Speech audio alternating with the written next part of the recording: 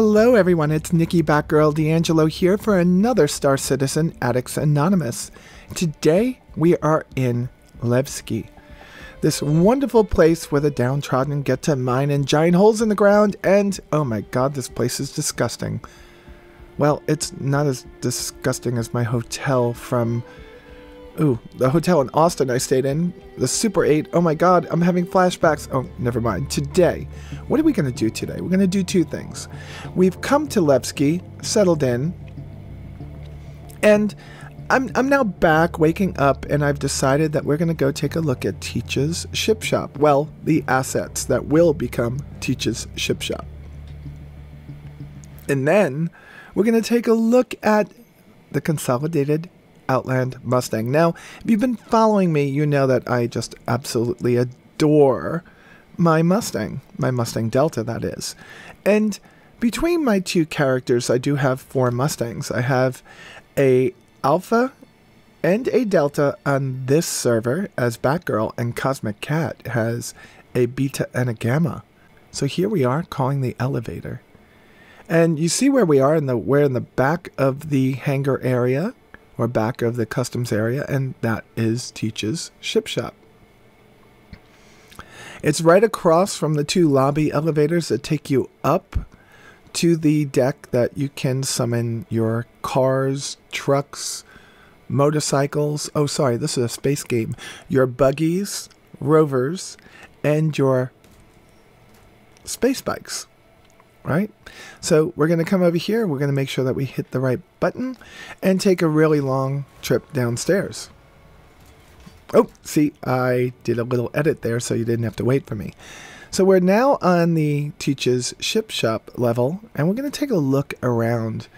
The assets are all placeholders right now, and you can only imagine this being filled with different uh, I want to call them used car salespeople. This kind of reminds me of a used car lot, not so much a new car lot.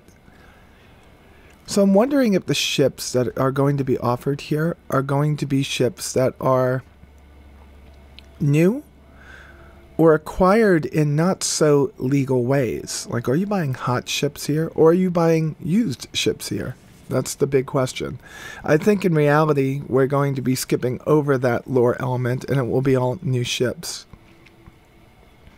Some people have already been able to see this area populated with ships. They've given us 5 million credits in the PTU to have fun purchasing the ships. But I've not seen an opportunity to do that. Every time I come down here, there's nothing here. I've seen Onboard Gamer's video that he did get an opportunity to check this area out and see it populated with some vessels, nuclear vessels, and uh, it looked like it was a very basic. You walk up to the ship, hold down the F key, point your cursor at it, and click. It's kind of like buying anything else in any of the places in the game. So I jumped ahead to where we can get a Mustang Alpha. Now, there is going to be one problem with getting the alpha here, and that is going to be that the hangers are still broken. Now, not broken per se, but they are. The hangers are dark. They're scary dark. I mean, like, you expect Alien to jump out from a corner at any point. So we're going to get in here, go down to our Mustang, and I'm going to answer a question along the way. So I did get a question from I think it was Daggerfest or Dagger Daggerfall, Daggerfast. And what he asked me was, do I think that the event that Sandy was talking about could just be a live stream? So let's put this into context. Sandy was walking back towards the signing table to take her place in line and sign everybody's posters, brochures, whatever it would be. So she had to get back there pretty quickly, but she was very aware of what the context of the question was. This person was from Europe and asked when CitizenCon was going to be next year because he got limited holiday or limited vacation days. And she said, Well, there are two events next year. She didn't say there was an event in a live stream. And she understood that he was asking about days that he needed to take off. So she offered him the information that he needed to think about two times that he would need to take off. You wouldn't need to take off any more than one day for a live stream. She was talking about multi days that you would need to take off. So I do believe, based on the answer to the question the gentleman asked, that Sandy intended for him to understand that the event was going to be multi day and most likely an event kind of sort of like CitizenCon. All right, so we are in the Mustang, and I just love the dashboard. The the instrument panel is incredible. It looks so much like an F-35's that I think that CIG is starting to understand what we're looking for. And if you could just maneuver and manipulate, drag and drop things on there like you can in the F 35, things would be even better. Now, you do give up the 3D radar scale on here because it doesn't look very 3D on there, but it does fit the design element, the, the, the design consistency of the consolidated Mustangs. Like they all have this beautiful instrument panel. In the beginning, it was supposed to be more like a motorcycle, but I think I like what they've done with it better. Now, the exterior view of the Mustang to me has taken a little bit more time for me to like. And, you know, I was trying to figure out what it was. The sharper and angular lines of the old Mustang really did, they made me really love it. And this one just seems like some of that rough and sharp and knife edge look is gone. But then I start to see how it is actually much sleeker and it looks faster. And I think that's more what they were going for. I also, as, as a person who has a degree in aeronautics, I also question the lack of a vertical stabilizer for in atmosphere flight. But then I think of a B 2 bomber and I go, well, they're so advanced. The IFCS and the thrusters would more than make up for not having a vertical stabilizer. So just let that out of your brain. But I think it's the only thing, that look of the vertical stabilizer, that's keeping me from absolutely loving it and just liking it a lot. And that's me. That's nothing else. The Mustang is absolutely a beautiful ship, and it's probably the one I would suggest to most of you as your starter ship if you only had to pick one ship. And that goes without me seeing what changes that they are going to do to the well, the much higher, well, not much higher price, but the higher priced Reliant series of ships. I don't know what they're going to look like, and the slightly higher priced 100is. And I think they have a possibility of moving ahead of this, but I am. Yeah, when it's between this and the Aurora, I'm I'm Mustang all the way at this point. Even though I do own quite a number of Auroras also. I have at least one MR, two LXs, and one LN. Two accounts now, remember, two accounts. Cosmic Cat only has starter ships on it, and she has an LX, she has a Mustang Alpha, um, sorry, Mustang Beta, and a Mustang Gamma. And over here, I have a Mustang Alpha, a Mustang Delta, and an Aurora LN. Oh god, just too many ships. Too many ships to remember. Most of my ships are lower priced though. I am finding that this ship is very maneuverable, very reactive in combat, and I like it a lot. Let's go bring it down to the ground. That will be a very quick cut here, and I will be right back. Most of the time I get a new ship, I take it to Yela because I love the ring system of Yela. I just love being on the planet looking up and imagining what that would be like in real life. I guess I could just go get an Oculus Rift and, you know, experience it that way. But I'm learning my lessons when I do these ship videos that the best place to take a ship to get a true indication of how it looks in the lighting that we would be more accustomed to is to bring it to Daymar. Daymar is like bringing it to the beach, like bringing it to a desert area, the Mojave, the Gobi, the Sahara, and just using ambient light to see how beautiful the ship is. So we're going to bring it down to the planet and try to land as close as we can to the flat area that we're pointing at. I know we could add a little bit more distance and go a little bit further out, but the way I see it is that the level of detail just opens up, and all that area that's a little bit further down is just going to wind up looking like this area over here. 100%. I love the way that the canyons are, but if you look at it, there's a lot of elements that just start and stop, and they're not believable for real geologists, but they're pretty cool looking nonetheless. And I am very impressed with how the procedural planets, procedural tech has been working on creating different places for us to see. I can't wait to see the moons of Hurston. So this ship is going to have a very cool um, flight model in atmosphere because of its aerodynamics.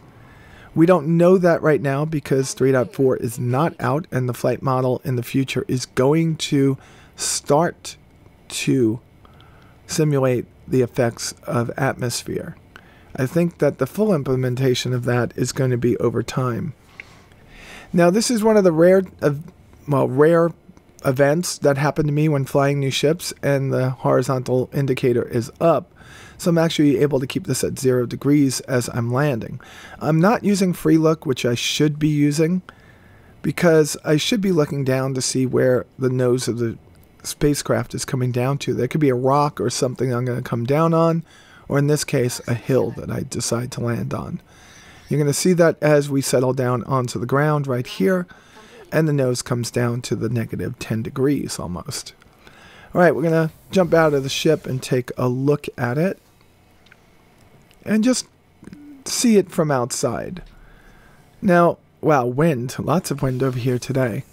One of the coolest things I like about this is that chin turret right there. I do make a lot of I do make a lot of comments about the chin turrets on other ships, but for some reason it just looks like it fits here. I love the way that it looks. I love the way that it works. And those M4As are badass. I, I would never believe how powerful they were until I started flying around in my Delta. So we're going to show some delta footage here. We're going to just drop it in and see what the differences are. But this is a pretty awesome ship for a starter ship, and I'm pretty happy with it right now. Just looking at different elements of it, and let's move over to the delta. Here we are inside of the delta, and we've moved all the way to the third wave. Now, one thing I'm doing incorrectly here is I'm wasting my time trying to get the Badger on target. I should really be looking at that tiny circle that's a little bit ahead of where I'm firing and fire at it so my M4As, my laser cannons, could get a hit like they did just there. It, they are just a very, very, very powerful weapon system that this ship has. The most useless, in my opinion, weapon system on this ship for fighter to fighter combat is the rocket pods. The rocket pods are absolute poo. They take a lot, like those instances where you have people just flying right at you. And you see that? All they have to do is just move a little bit and they're going to miss. So those rocket pods are really cool and really fun if you're firing at a really big target that's not going to move, which you will be in the future, possibly. But I don't find them as useful as the people that design the ship do. I think that they're okay. Now, if we were fighting in Pirate Swarm and I was taking on caterpillars or taking on the constellations, they would definitely be useful. But here, not so much. And going through the weapon armament system, or layout system, whatever you want to call it, I did not see a way to change the rocket pods just into two smaller missiles. I'm sure that's not something they're going to give us because the uniqueness of this ship is the only one with rocket pods right now. But God, I wish I had the opportunity, if I don't like the rocket pods, for me to do something else. The Delta is still one of my favorite ships. After playing through this full Arena Commander, which I rarely do these days because honestly I've been there, done that millions of times, I really started to get that love for this ship again. Now it is fragile. And you do need to invest in upgrading some of the systems on it. It definitely needs military shields, a military power plant, and military coolers. But in the grand scheme of things, even just taking it into the game stock gave me a really, really, really good feeling of competitiveness. I, I liked the way that this ship was being portrayed. So we took out the Mustang Alpha, we took out the Mustang Delta, and we talked a little bit about both of them today. And we also went and took a look at Teach's Ship Shop just to show you how assets are being added into the game little by little. And although it's taken us five years to get to where we are now, or six years, it's not going to take us six years to double where we are from here because in the past, all those systems, all those tools, all the communication processes, and all the QA processes, and so much more all had to be invented in that five year time and procedural planets. Oh my God. All that stuff behind us now, I think that our development cycles here, the ones that we get to see, are going to start happening at a much faster rate. Let me give a very big thank you to the patrons of mine over at patreon.com forward slash Batgirl. Without your support, I wouldn't have the funds necessary to keep producing these wonderful videos. At patreon.com forward slash Batgirl, you too can become one of my patrons. Remember, patreon.com lets you support the artist of your choice with a donation of as little as $1 a month.